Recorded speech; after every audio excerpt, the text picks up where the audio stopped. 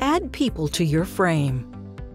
To invite people to add photos to your frame, open the LifePrint Frames app and select your frame on the home screen.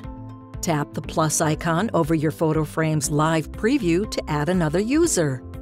Input the email address and name of the user you want to add to send them an invitation to your frame.